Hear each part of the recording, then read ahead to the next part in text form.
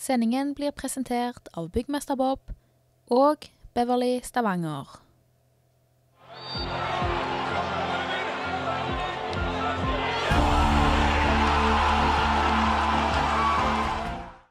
Da ønsker vi hjertelig velkommen til Vaulen, og det er Vaulen mot FC Show her i dag. FC Show står med full pott etter to kamper. Kommer det et nytt fra Karsten. Og det er bra. Oi! Store muligheter for Show. Og der. Og det er ikke langt unna.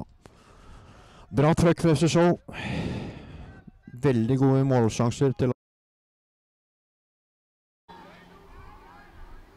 Så har dommeren blåst for noe. Det er gult kort til uh, det er Kapo. Og frisparket. Og den går i mål. Den går i mål fra Vølen. Det er 1-0 til hjemmelaget. Litt ufortjent, vil jeg si. Det er farlig av Abdi og Shame på midten her. Ja, stor sjanse for Vølen. Der eh, er det kombinasjonssvikt. Eh, farlig fra Abdi og Shame, som eh, har en dårlig pasning der. Og noterer en ut på venstre side og Og den går i nettveggen. Det er stor målsjanse til Vølen. Runde keeper og legger inn. Å, så er stor målsjanse for Sander rett foran boks. Og får ikke avslutte skikkelig der. Så prøver vel seg. Skuddet kommer, og den går i Så ut som den gikk i stolpen, men uh, Dommer blåser fløyta, og er pause her på Vøylen. 1-0 til Vøylen over FC Show. Vi er snart tilbake med andre lag. Alltid hyggelige karer å se på sidelinja med Birkelund og co. Det er på Karsten. Karsten legger inn. Og det er nok en stor sjanse til show. Og Karsten med en lurt innlegg. Fra Karsten. Ja, lur. Og den går rett i mål fra Anders Karsten! Et fantastisk lurt eh, cornertrekk fra Karsten, som eh, Nøvel. Bøker Karsten. Karsten legger inn. Og Aaland jager. Onar. Onar smekker denne ballen i mål! Det er 2-1 til FC Show her på Bølen. Honar Ismail gjør det. Etter et eh,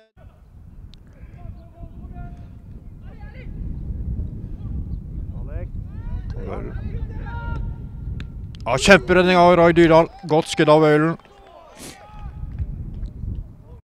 Da skal vi kåre banens beste for FC Show, og det er, eh, mener vi det er Anders Karlsen som var dagens mann for uh, show.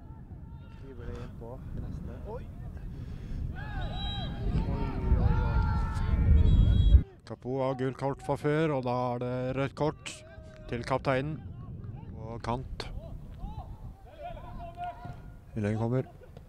Roy. Så er det kjempesjanse til Vølen. Klabb og Bob uh, blir skutt ut.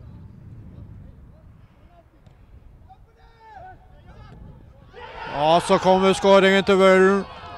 Og det er 2-2. Det er innlegg fra venstre, og så kommer skåringen.